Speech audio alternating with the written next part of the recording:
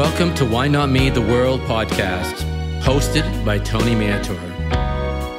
Broadcasting from Music City, USA, Nashville, Tennessee. Join us as our guests tell us their stories. Some will make you laugh, some will make you cry. Real life people who will inspire and show that you are not alone in this world. Hopefully, you'll gain more awareness, acceptance, and a better understanding for autism around the world.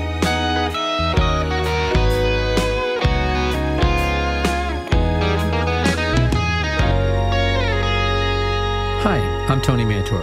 Welcome to Why Not Me the World. Today's guest is Darcy Lippman. She's a special ed teacher, has four children, one which is autistic, and the stories that she has are just outstanding. Thanks for coming on. I really appreciate it. Well, thank you for inviting me. It's my pleasure. So let's start this off with how many kids you have. I have. four kids. Very interesting story. Okay. And I think you said one is autistic, correct? um, I have one who's autistic, diagnosed. One is spectrumy. We actually adopted three kids and had a surprise all within the same year. Like literally went from zero to four kids in about six months, Wow. all in diapers. so the story, you know, it's it's a pretty cool story. Okay. Our oldest three are adopted through foster care in their sibling group. We have had Jaron since he was born. The other two we were doing respite for. And then when they found out the mom was hiding the pregnancy because she knew that he would be taken, Okay. when they found that out, he was she was seven months along. So no prenatal care. She was, you know, 90 pounds. Okay. So when Jaron was born, it was decided that we would foster him full time because the foster mom of my other my oldest two, who was a saint and angel and everything, um, we got them on the weekend. She was a single mom and she had a, another son, and that was Jaron. And Jaron's my kid with autism. He was born in the, in the like state hospital, like the one that basically, if you go to, if you don't have any, they were like, "Yep, we had to have escorts take us in," and I mean it was. But he came home absolutely like and he's supposed to be full term, but six, barely six pounds. Wow. Uh, he might have been right under when we brought him home. There's no way he should have come home. Right. My surprise, my my biological child, who actually was born six months later, after we spent lots of money trying to have him, he came for free. So he's he's been Jaron's like Irish twin for his whole life. But he was in the NICU for a month, and Jaron came home smaller than he was when he came home from the NICU Wow. and he was a borderline failure to thrive. No, I mean, we had to do weigh-ins like every week. He had to be on. I mean, he was he was sensory wise just he couldn't noises, sounds. But you don't know if some of that is it due to some of the birth things because he, you know, birth trauma and, and adoption is always trauma to be taken, you know, from your mom that your body's, you know, conditioned to need. And um, but also, I mean, she was smoking multiple packs a day, and we don't know how much drug use was happening because she had no monitoring up till then. But he wasn't born with any drugs in his system, but he was. He didn't get to be over 10 pounds till about five months old. And so he was delayed in all of his milestones. You know, the daycare teachers tell you, like, it's okay. It's okay. Some babies just develop, you know, it's okay. Like, don't panic if he's not eating. Like, textures were weird. It took a long time to get him to eat anything. It was different. Um, but so our pediatrician is who was like our our saving grace. Okay. Um, because at the six month appointment, he's like, he's not doing any of the things. Not rolling over. Oh, He's, you know, and we're like, I know, but the daycare teacher said just because, you know, he was borderline failure to thrive and, you know, he, i- that it's okay. Some kids are just late bloomers.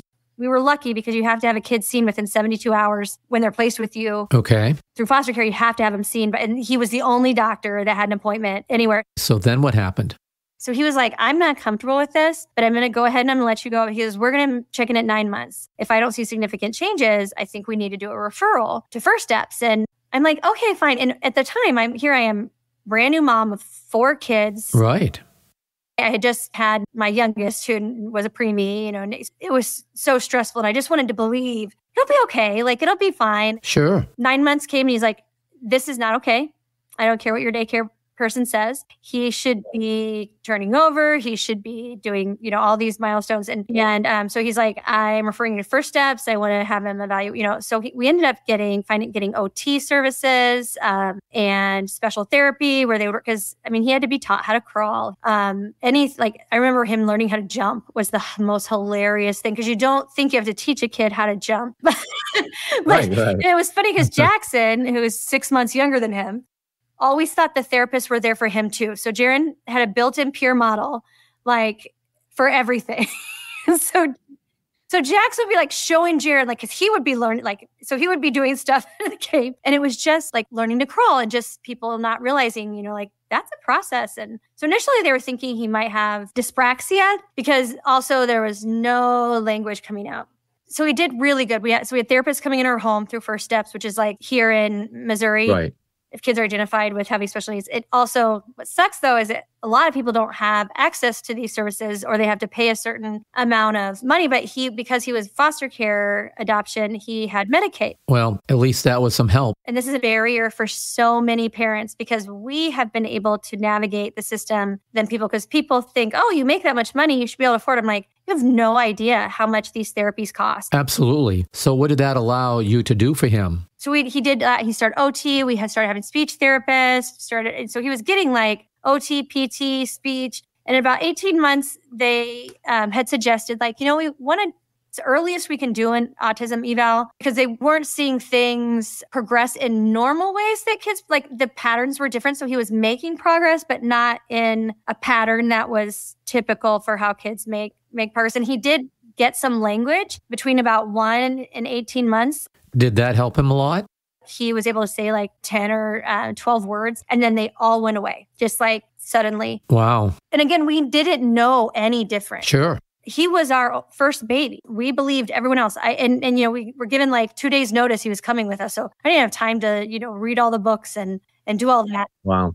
So I thought we were actually thinking he might get um, sensory processing disorder might be what came out because he just was so sensory sensitive. I mean, it would rotate really dramatic things. Like he'd go from one day loving to be in the bath and playing with water. And then literally like the next day it became like water was poison and would it was like you're scarring him. And that would go for 6 to 8 months. And then just randomly he'd go 3 or 4 months with thinking water was great and you would never know what's going to happen that next day. And that was constant with his sensory things. So how did you handle it from there? What was nice about he was able to be diagnosed early, which 18 months is usually the earliest. And people are like, wow, you're lucky to get it that young because we were able to get a ton of early intervention, which is such a key thing when working with autism. And I will say too, like I'm a teacher, I'm a special education teacher. I have taught kids with autism, I teach kids with behavior disorders. A lot of my kids have autism.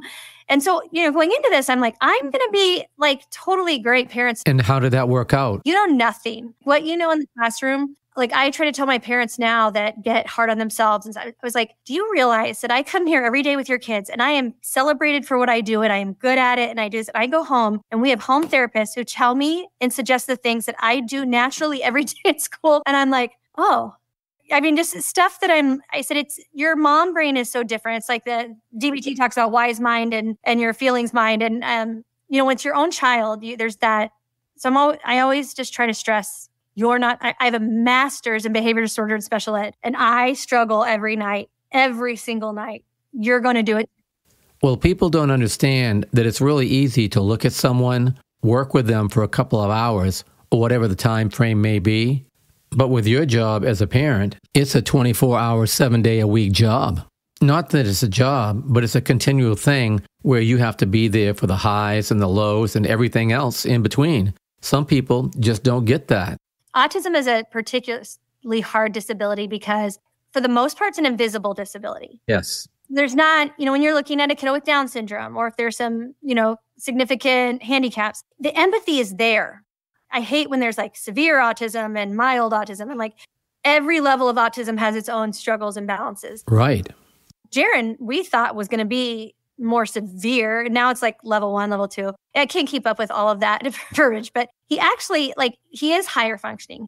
The hard part about him is he he first off looks like people are like I can't see the autism. I'm like think that that's a compliment. Unfortunately, there's a lot of people out there that do not understand that. That's not. Please don't say that to your parents because you know what? I don't care if he looks like he has autism. Absolutely. We've come a long way to having to really embrace that, that that's part of who he is. Sure. That's part of his essence. I don't want him to not have autism or not show his autism or not, because part of the autism is, I mean, he's the most, he's hilarious. And he's, and right now he's like Napoleon Dynamite, full out, wears moon boots. I mean, he, mar- he was wearing a tuxedo to school forever. He's way into Titanic. So he was wearing a captain suit. I mean, he, he does the teenage things. He's got his brother. He's got a brother in the same grade. He's got uh, two two siblings. You know, they're teenagers. They're all going to be in high school together next year. Um, but he's a mess. He's got the curly hair, and I mean, it's just. But I like his. I love when I'm with him by myself because his brain just when it's allowed to be, and I'm not having to like put on my. I need. I I get over anxious about like.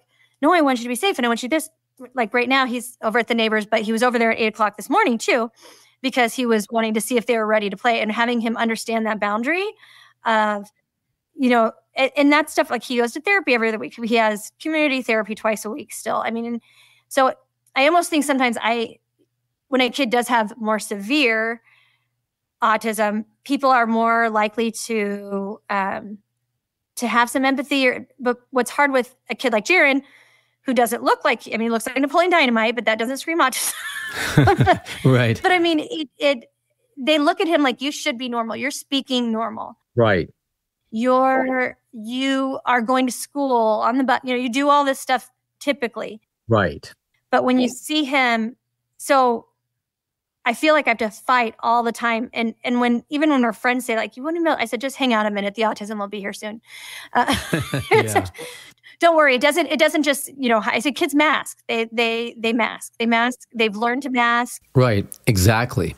It does bother me because I'm also like, you don't know how hard this kid has worked. Sure. I mean, he was started first steps at 10 months, but I mean, he has been in intensive therapy his whole life. Right. How old is he now? He's 14. He's turned 14 and he knows everything. Everything that you just said has been told to me at one time or another. I had a friend that told me about two individuals. One was autistic, the other autistic with Down syndrome. Mm-hmm. It was easier for him to get the money for the one with the autistic with Down syndrome than the one with autism because they couldn't see it. Oh, and in schools, as a special ed teacher, I'll tell you that kids with obvious disabilities, the kid, the teachers are, and I'm coming from both sides. I am a special education teacher. I've done this for over 20 years, primarily with kids with behavior disorders. I had done ABA before when, I was first teaching, you know, just to like, I had done all this stuff. I thought I knew it all. To see what the expectations are for a teacher right now we're, we're having an issue with there's a kindergartner who's struggling in regular ed because he doesn't qualify for self-contained but he's naughty but part of the naughty is that we're trying to make him fit into like teaching behaviors in a way that we would teach kids whose brains work, you know, neurotypical. Like you have to teach behavior expectations in a different way. Right. The kids in their classroom that, you know, are sweet and have a disability or, you know, uh, if they're, you know, if a kid is crying, but he has and I keep going back to Down syndrome, not meaning it's just one of the more in schools, more obvious disabilities. Sure. That does not bother them. But you have a kid with autism who can't can't communicate the right words. So then they learn a lot of kids in schools learn to say, Leave me alone, shut up. Everyone thinks stimming is hand flapping and stuff. Yeah, everybody seems to have their own perception of what they think autism is, even though they're probably wrong. They don't believe the autism because they want to see autism as no, kids with autism are sweet and you know, they're and they're kind and they're adorable, but it's such a spectrum. And I'm like, by the time kids are school age, if they've been struggling this whole time, and then you're shove them into a kindergarten classroom where there's 400 million directions a day, they're supposed to sit still all day. You haven't adapted your teaching to how their brain is functioning. And I, I feel like I've had to learn along the way. I know I've become a better teacher since I've become Jaren's mom. That's what I was going to ask you. You've told the story of how your son has evolved now, how have you evolved since you started learning from the other side of the fence? Well, I constantly, as a teacher, want to like go back and punch myself, my early teacher, in this face for. you need to sign those reading logs. I don't understand, but I'm like, someone in my 20s should have just been like, lady, you don't know what you're talking. Like, I mean, just being a parent changed me, but sure, being a parent of Jaron, and I always Jaron has has probably been he he's he's been my passion because he was such a teeny tiny little guy and he just now you wouldn't know. He's like four inches taller than me. He's got a deep voice. It's, it's funny, but he was always this itty bitty bitty guy. And it was my job to fight for him. And so I had to learn so much, even though I was a special education teacher, there were so many things I didn't know. Right. About what I could ask for or what I could, um, what services could be available. And again, because he was higher functioning and he wasn't, you know, he was speaking. That's hard part. If a, if an aut- uh, autistic kid is, is verbal, they are not given the same, and it, there's no, well, they don't seem autistic. Like there's that, and like Jared is verbal as heck, but his language, I'm telling you, he is not processing what you're saying or what he, and you see it when you have conversations with him. He's like, you're like, oh my gosh, that's right. Whoa, whoa, whoa. Let's go back and rethink that. but they see you're verbal, you're fine. You're okay. But I had to learn, I had to finally sit on the other side of the table um, with all of the special ed people on the other side, you know, br- when they bring the big team because you're a mom that knows data. And, and I'm thinking, I know all this stuff and I'm good at data. I'm good at pulling his thing. I'm good at doing this. Sure. And it's hard. What about these parents that just got the diagnosis at four or five or six? Absolutely. It's really tough when they first find out. I remember his preschool, one of his, the first going from first steps where we had all up until three, you get first steps. And now we had all the therapists come to our house. And it was brilliant because when you having to take a kid to a center, like you learn the stuff there. But when they do it in your home and you're present and you're seeing how they do these things in your home, that was powerful. So I always, I know people when I talk to new parents and they're like, ah, oh, you know, our house is a mess sometimes and blah, blah. And I'm like, oh, please, I have four kids. Yeah, it's always a mess. Right. I learned so much by having the lessons taught how I was able to see how the therapist taught him in his environment. And then I was able to mimic that and learn from that. I wouldn't have been able to do that sitting in a center. So I'm always like, you have an option for home services. I would do that every time. And I do the same thing as a teacher now. I ask if like OT or PT, I'm like, can you do it in the classroom? Can you come in my room? And I'm a self contained room, so I only have seven kids. But I'm like, if you came in, then I could make sure as a teacher I'm mimicking you and I'm doing this. So they're not just getting it the two half hours a week. You know, I could do stuff every day to mirror this and that directly. Cause before I'd be like, oh no, you know, take them, take them. But now it's like, I see how important it is to see that. But being like in his first preschool evaluation and after he'd had such intensive first step services for, you know, over two and a half years, the whole team was there. And they went from, I remember one of the things was they were going to give him 30 minutes of speech once a week. I had to have his first speech therapist there. And I was like, but he gets two hours of speech once a week. Uh, you know, twice, he gets an hour twice a week right now. And that was the only time we finally saw progress in his language was when it went from one hour to two hours. I said, because of his anxiety and how, like, he was very much a scared of the world kid. So it t- t- every situation took him like he had to get his toe wet and he had to. So it, and they're like, and I said, okay, so does that mean like you pick him up and he has 30 minutes from the time you pick him up? And they're like, yeah, you know, he walked down and I said, but he's he's showing he's in the less than one percentile for speech and language. Why would you put most emphasis on that right there? Because you're telling me that's his primary, like right now, that's what's holding him back, but you're going to give him half an hour once a week. And this isn't a special education preschool. So we thought we fought for that. And thank goodness my the speech therapists were there because i wasn't smart enough to know all of the you know that's a whole other specialty. And so what schools do unfortunately is they talk down to the parents. They talk over the parents. They make sure that the parents feel like we know best. We're the smartest. We know everything. Right. I became my biggest passion now is i make sure that the parents when I when I get a kiddo, by the time I get a kiddo, they have gone through the gamut because it's really hard to get into my program. I'm always like, I will be point blank transparent with you every time. And I said, and I don't care if I get, I'm always laughing like I have tenure. Nobody wants my job. So we're good. But I do. I tell parents, I'm like, I can't ask for this, but you can. Right. Here's some things you are entitled to, but that unless you go to this, I make sure that they always know if you are wanting thinking something, I will help you fight for it because I'm not going to judge your want right. as something that is is needed. And I I think for the first time parents feel like okay, finally someone is not talking to us like we're dumb. And I think that sometimes having a child with similar disabilities helps parents to also be like, okay, I'm not going to get judged. Sure, that's a big deal. No one wants to feel inadequate, especially when they're trying to learn and help their children. Hey, in Lippman Land, we were whatever you want. You just show up. You know, it's like they don't they don't have to worry about all those little things that had nothing to do with the child learning and you know being safe and feeling because if kids don't feel safe, they can't learn. And kids with autism, I think it's even more because we don't know how to communicate safe. Right.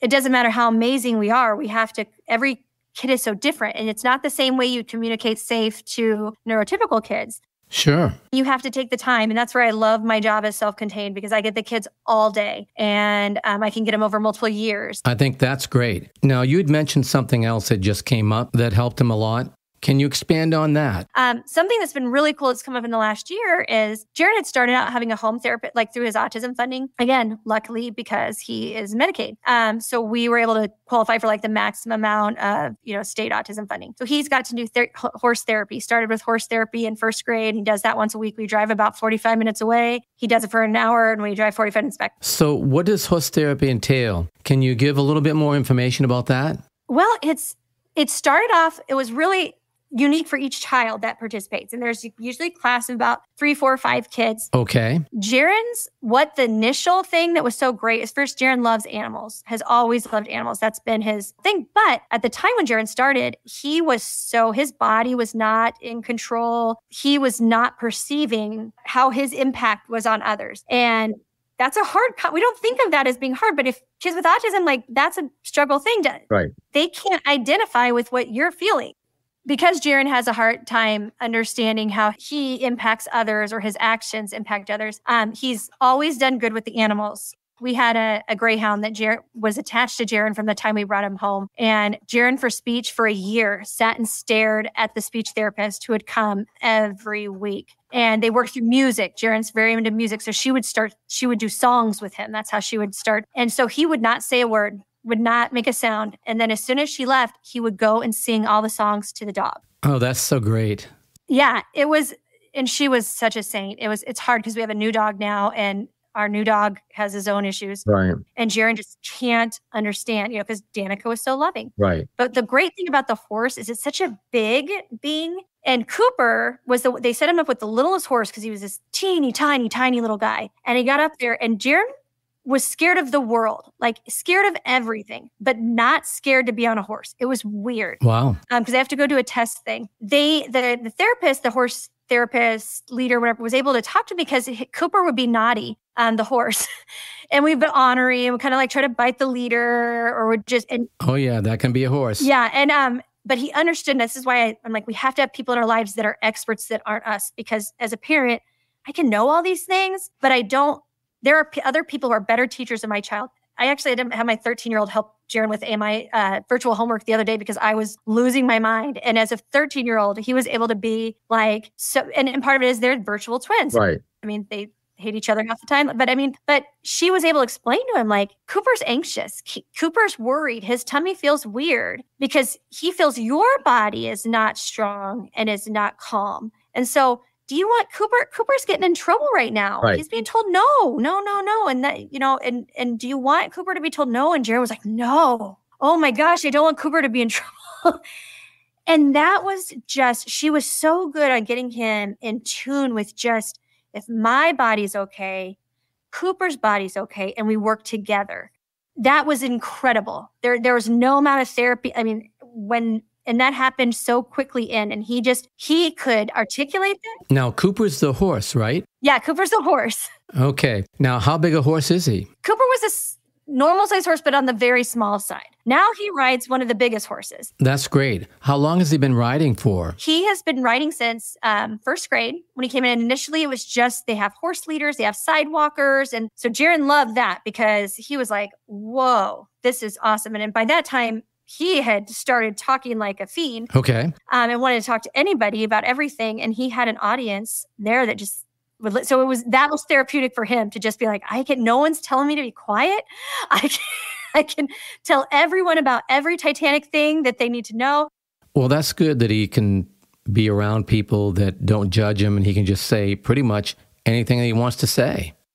Jaron just, because we do a big talk in our family, we have a daughter that has severe mental illness from her trauma. And one thing we were always are is we're very transparent. I always I tell the kids we don't lie. Okay. We don't tell we don't keep secrets. And I think especially for someone like Jaron has such high anxiety and OCD right. things about if he doesn't do certain things, the family will die and stuff. So he doesn't understand that he shouldn't tell all the horse leaders about his puberty. He shouldn't tell them all about and and but he does. And I right. I love that there are places that I cannot have to overthink like, oh my God, what is he saying? Oh my gosh, what are they interpreting it right? But no, as he got older, he became he's so connected. Now he rides off lead, he trots, he's in horse shows. People ask, like, gosh, that's an hour and a half long trip every week. And I said, it is literally one of the most because Jaren's body becomes different when he sits on that horse. Well, that's the great thing about all those programs out there. I have to inform a lot of these parents about the autism funding out there. And I was lucky that we had connections. At first steps we had amazing therapists and they're the ones like oh yeah go apply for this go do that. But i'm still finding out stuff. So i tell him i'm like these are the options. Like there's like he goes to camp barnabas now which is this great camp in missouri. It's a sleepaway camp that you go for like a week and they have all different kinds of disabilities and there's different weeks different you know they have different disabilities he's gone on weeks with chronic illness um, he's gone on weeks where you know it was uh, kids who were blind and and he goes every year at least once a year and he became a different child when he spent a week in his element. That's so good. He had a. They have like what's called a. Uh, your missionary. You have a. You have a one-on-one like college kid who's with you. You're with just everybody is unique and everybody is doing things differently. And I. He came back a different child after that week. That's really good to hear. It's always great to be able to take them to a place that they can just forget about everything and focus on having a good time. Now, you did mention something that's pretty big in the autistic world, and that's puberty. It affects so many different teens in so many different ways. Can you expand on that just a little bit? When when Jared was much younger, I'd gone to some panels about puberty and autism, and that could be its own podcast. You got parents because no one could have prepared us for what comes with puberty and autism. because you put all those hormones, so you got all the emotional things and all, and then you're trying to like thank God he has an amazing therapist that he's had, you know, since he was little. And he's, you know, we've had we've we've brought services back into our home because we are at the point of exhaustion with when I'm able to step away and I'm able to like not be in the mix of all of it, I I have so much I'm just like, how the hell does Jaren deal with the fact that he has to interpret every freaking situation. Yeah, it's a tough thing because kids just are so overwhelmed in the neurotypical world, and then you add autism to it, and it just adds that much more to it. So, by your ability to take him to that horse therapy, it seems like it helped out tremendously. That that's ha- that's been a huge part of like I'm telling you, horse therapy was the start where all the moms and I would just like you can say things you wouldn't say to normal people, and you can admit that you're really frustrated about something which you wouldn't want to make. And we all had different levels of things we were dealing with, but we had one common string. I remember once Jaren fell off a horse and I felt horrible because I didn't see it happen because I like we were doing our our mom we were just checking in. Sometimes it's talking about plans. That was great that you got to connect with other moms and just go over things. When you first moved there, how was it? How did you adapt? How did you grow? Did things fall in place fairly easily? At the time, we were new to Kansas City. We were very isolated. We joined a church. We didn't join them, we just started going. We're Christian, they're Methodist, but they were really great. that was a huge thing because they just embraced every kid for who they were. They had, it was an amazing church. That probably saved us in those early, early years it didn't matter what was going on. People were, mm. they met Jaren where he was at. And part of the reason elementary was so good is Jaren grew up with those kids through church and they're, you know, got went through elementary together and they were at church stuff together and then they went to middle school together. And so elementary was pretty good for him because he had a group of, and he had his group of odd duck friends where the moms and I all became, they were all in social group together and literally the oddest, like I loved them. The moms and I all became friends. We did play dates with each other finding those parents, that was huge. That's great. So it sounds like you've got things pretty much under control now. How does that compare to when you first started? I was paralyzed with parenting for a while because I was like, I, am going to mess him up. I'm going to do something wrong. I'm going to make something worse. And I had to look at like, what can I do? What, what is important in our lives? But again, that is because I've had good therapists and good people. So now that you've got pretty much everything under control and the people have helped you and you've learned. Is there anything else that's on your mind for the future? What parents like me need who now have like kids. So I know all about the beginning stuff, like the starting out, but I'm desperate for information from parents of teenagers, the transition piece. I'm trying to seek out every parent I know who has like a high schooler because Jared will be going to high school next year. I want, please, please tell me what I'm in for. Well, hopefully there's going to be some parents that's gone through what you're about to go through and can reach out and give you a lot of information. That's the great thing about this community. They help each other out and it's just just an awesome thing to do. With that said, this has been a great conversation. Do you have anything that you'd like to leave us with? It's hard because I want to say go find another parent. I would caution them to not jump on every autism Facebook page or group. Some of them are very judgmental. Do your own research a little bit too. If you feel a group is attacking, you're not the bad guy. You are the parent. You still know your child best. Your child is still everything that you thought they were. It's just they're cooler now. Like now you get to change who change how you think and like your brain is opened up. There are parents I see that are beaten up. They get a later diagnosis, like, don't put your kid in ABA. You're torturing them. You're, you know, or don't do this, or you're you're telling them you or if you want them to do anything that's typical, then that's and I'm just like, it is hard enough to be a parent first that gets the diagnosis because you go, it's okay to mourn it. I tell parents, like, it's okay if you're not happy about this. It's okay if you are sad and depressed and you feel like something has ended. It's okay that that's a normal process that all autism parents go through. And and don't let anybody think you should be like oh you know you'll get there. You'll get there when you find other parents. I would say not try to do too much at one time. A lot of like that's something that um, some parents will be given like here's here's 100% of here's all these things you can do and here's all this and contact these people. And they're still trying to cope with the fact that i just got my kid identified. I would recommend parents get their own counselors and therapists because this is a journey and your paradigms have to switch so much. And if you aren't taking care of your own struggles and your own stress, and, and it, it's not because something's wrong or you have a mental illness, it's just raising a child with a disability in a world that is not made for them, you are always on. You don't ever get to not be off. So that's the number one thing I would, I mean, that would be right up there is like, go get support for you and your spouse. It's okay if you don't do everything. It's okay. One thing and and decide like okay we're going to do this one thing. You can decide. People don't have to like the decisions you make. You're still the parent and you can do this and you you are capable and you you just sometimes your brain has to open up in different ways that maybe it hasn't been challenged before. And but i've never met an autism parent who hasn't taken on that challenge. I mean that that hasn't gotten to that place. You'll get there but don't try to do 700 things at once. That's really great information. I've really enjoyed this conversation. And again Thanks for coming on. Yeah, I it, it, it was fun talking about it. yes, for sure. I had a great time. Thanks again.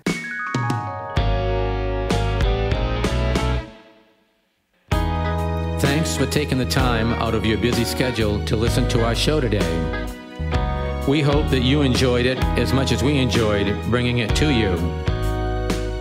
If you know anyone that would like to tell us their story, send them to tonymantor.com, contact, then they can give us their information so one day they may be a guest on our show. One more thing we ask tell everyone, everywhere, about Why Not Me, the world, the conversations we're having, and the inspiration our guests give to everyone, everywhere, that you are not alone in this world.